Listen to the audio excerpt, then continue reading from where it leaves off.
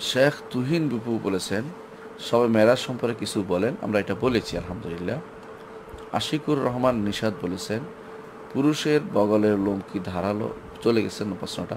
নামের সাথে মোহাম্মদ লাগালে কি গুণা হবে? নাম, নামের সাথে মোহাম্মদ লাগালে গুণা হবে না, তবে এটা সুন্না সম্মত নিয়ম নয়। রসুল্লাহ সাল্লাহ সাল্লাম, তিনি যখনই কারও নাম রেখেছেন, কারও নাম নিজে মোহাম্মদ অমুক দুই নাম দিয়ে দেননি। কোন একটা নাম তিনি দিয়েছেন।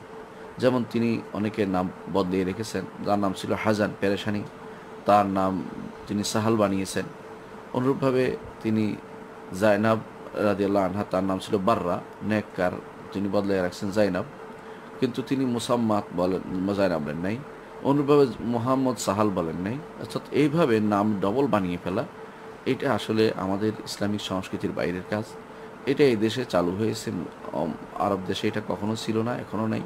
এবং কখনো করলে সেটা বাইরের প্রভাব দ্বারা প্রভাবিত হয়ে তারা করে থাকেন। এই জন্য আমাদের উচিত নয় ইসলামী এইভাবে বাড়িয়ে, এইভাবে নাম নাম বাড়ি নামের ইয়া বাড়াই, বাড়িয়ে ফেলা উচিত নয়। বরং একটি নাম হওয়া উচিত। মোহাম্মদ রাখবেন শুধু।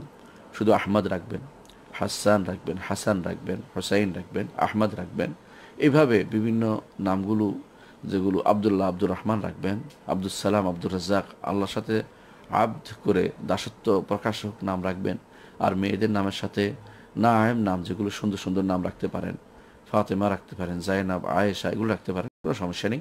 কিন্তু ডবল নাম রাখাটা আসলে ইসলামী শরীয়ত ইসলামী শরীয়তের যে নিয়ম নীতির বাইরে, রাখলে গুণা না হলেও এটা সুন্না মোতাবেক নামটি রাখা হয়নি। শহীদ মোহাম্মদ বলেছেন ইজমা আসলে কি একটু বলবেন?